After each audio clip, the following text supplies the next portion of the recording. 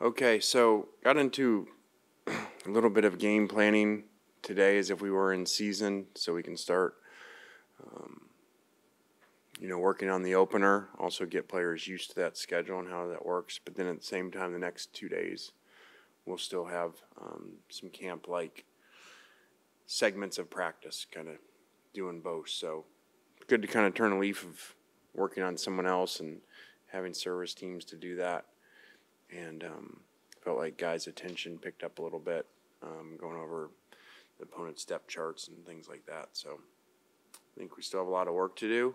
I think that um, I've had a number of players miss time offensively lately, especially with skilled position, receiver, and um, so that's kind of maybe set us back a little bit.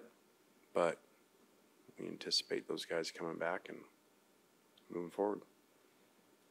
Questions? Lane, the last time we talked to you, you were talking about the line of scrimmage from the previous scrimmage. Just this past weekend, just what were your overall thoughts of, you know, that playing out and the overall thoughts on the scrimmage this past weekend? I thought the defensive line um, played extremely well again. Um, really caused us, including our first offense, some issues. And so that's kind of been the theme of camp about that unit playing really well, and they did again. And they have a lot of different body types in that unit um, that are really hard to deal with. So obviously, that's our team, so that's a good thing. And um, I think our offensive line uh, has a chance to be improved. I think they're headed the right direction. Um, a number of those guys, you know, haven't played together, so uh, that takes some time too. And uh, so Charlie Weis Seniors claimed to have been around last week to kind of view things from an organizational standpoint and whatnot. Just what was some of the feedback that you got from him and just the conversations that you had with him just throughout last week?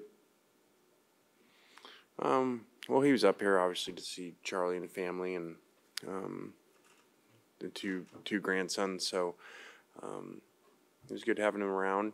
I've known him for a while, and um, he had mostly really good things to say about you know what he saw with practice and organization. So he's always welcome. When we talked to Charlie uh, a couple weeks ago, he said that you know, it's good to have rotating uh, pieces you can rotate on the offensive line. But do you feel like you've narrowed it down to a five that you like so far, or is it still a lot of moving pieces? Still is a lot of competition there. Um, mm, just like any competition that could necessarily continue on. You know, there isn't, you know, a deadline that the first game means that there's no competition, and those 22 starters are 22 starters from there on. So um, there's still a lot of competition, really good competition, and guys doing really well on the offensive line. Lane, does, does the program have any comment on Xavier Harris's arrest over the weekend?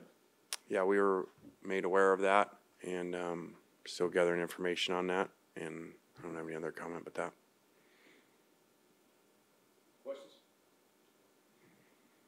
Do, do you feel like you know who your backup quarterback is at this point in camp, or is that still ongoing?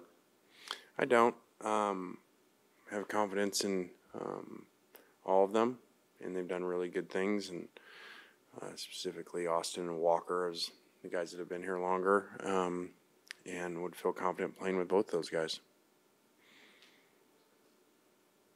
Questions? Does anybody drink Coke?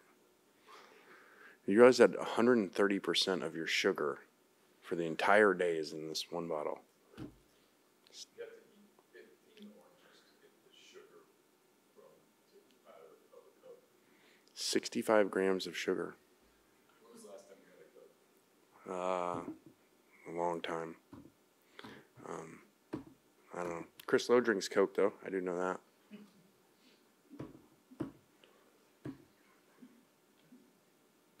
All right. See you guys. That is true. You do.